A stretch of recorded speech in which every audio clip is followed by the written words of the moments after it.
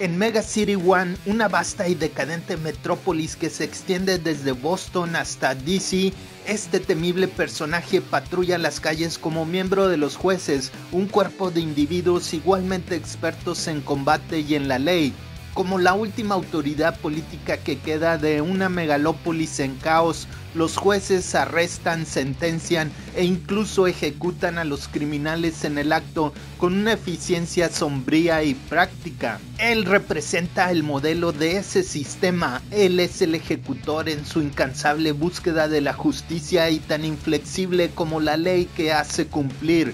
Él es la fuerza que impone el orden frente al caos. Él es la sombra más oscura en tus peores pesadillas. Él es...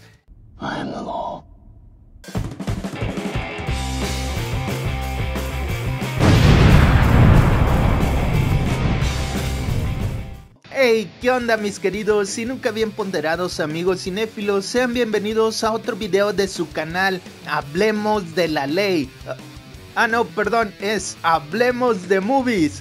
Yo soy Toño Man y el día de hoy quiero que hablemos de esta película titulada simplemente como Dread, que fue estrenada en el año 2012.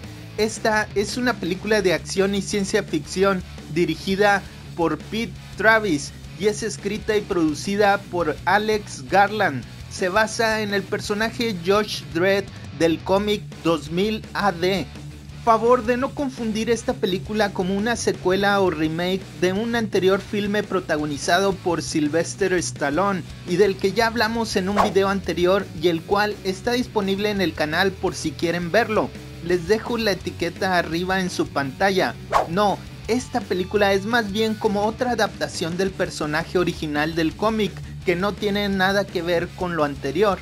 Aquí el actor Carl Urban interpreta al juez Dredd, un agente de la ley que se le otorga el poder de juez, jurado y verdugo en una vasta metrópolis distópica llamada Mega City One, que se encuentra en un páramo posapocalíptico. Dredd y su novata compañera, la juez Anderson, se ven obligados a poner orden en un bloque de apartamentos de 200 pisos de altura y aplicar la justicia al narcotraficante local, Ma Ma, interpretado por la actriz Lina Headey. A pesar de la respuesta positiva de la crítica, la película ganó poco más de 41 millones en taquilla, con un presupuesto estimado entre 30 y 45 millones. Pero Dredd tuvo un mayor éxito después de su estreno en video y desde entonces ha sido reconocida como una película de culto. En este filme, Dredd es descrito como un personaje muy extremista y que administra justicia con una total falta de prejuicios. Urban se acercó a los productores para unirse a la película. Encontró el papel desafiante porque el personaje nunca se quita el casco, lo que requiere que Urban transmita emoción sin usar sus ojos. Él vio el personaje como un hombre promedio con un trabajo increíblemente duro, en una sociedad fragmentada y comparó el heroísmo de Dredd con el de un bombero.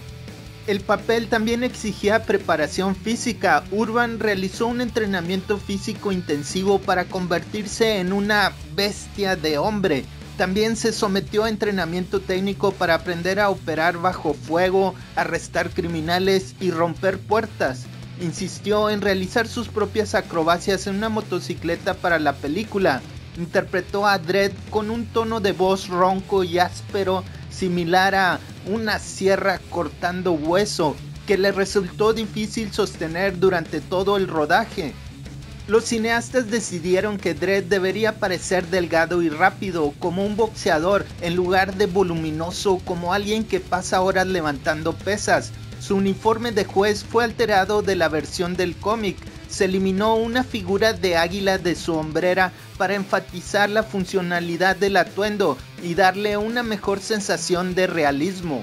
Algo que sí mantuvieron fiel al cómic fue la cara de Dredd, ya que a excepción de su boca, esta nunca se muestra y jamás se quita el casco a lo largo de toda la película. Esto es bastante significativo ya que supone que Dredd es el representante sin rostro de la ley y creo que eso es parte de su enigma.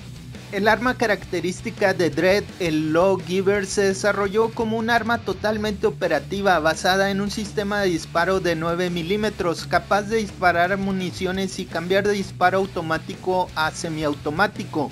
Su motocicleta Low Master era una motocicleta modificada de 500 centímetros cúbicos. Se agregó un gran tablero sobre la motocicleta con ametralladoras, una distancia entre ejes extendida y los neumáticos funcionales más grandes posibles. El vehículo también era operativo y Urban insistió en conducirlo él mismo en lugar de depender de los efectos visuales. Las escenas de Dread con slow-mo, que es una nueva sustancia ilegal en las calles que da la percepción de que el tiempo se ralentiza para el usuario, están bellamente filmadas y este efecto permite que algunas tomas de acción y tiroteos creados de manera única se desarrollen en el oscuro y duro entorno de Mega City One. En resumen, Dread es una película de acción de ciencia ficción casi perfecta con una representación honesta y brutal de un antihéroe que demuestra que no hay necesidad de limitarse al adaptar cómics oscuros. Esta es una visita obligada para los fanáticos de lo retorcido y amantes de la ciencia ficción.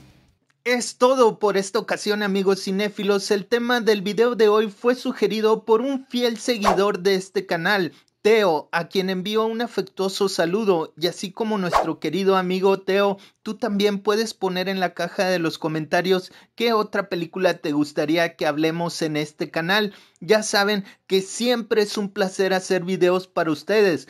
Por favor, no olviden suscribirse, pulgar arriba, comentar y compartirlo en sus redes sociales. Y bueno, no me queda más que pedirles que por favor se cuiden mucho. Yo soy Toño Man y me gusta un chingo que hablemos de movies. Hasta la próxima.